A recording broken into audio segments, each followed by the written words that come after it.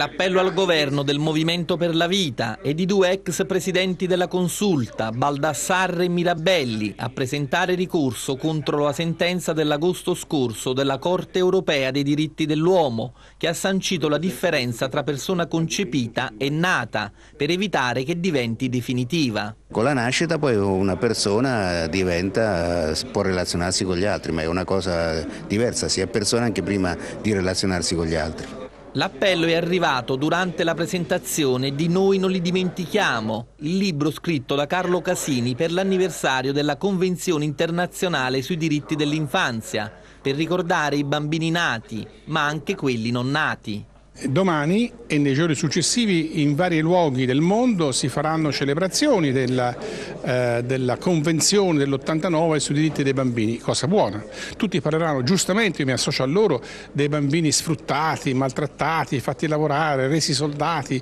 morti di fame. Io sono con loro, hanno ragione, ma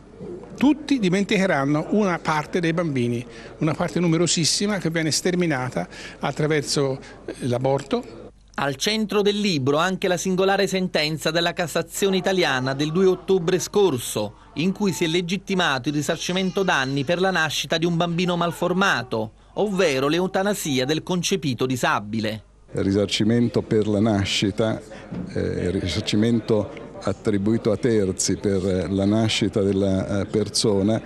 eh, in realtà si ancora a questa visione del eh, diritto al figlio sano che è eh, per la verità la espressione speculare del diritto di non far nascere il figlio malato.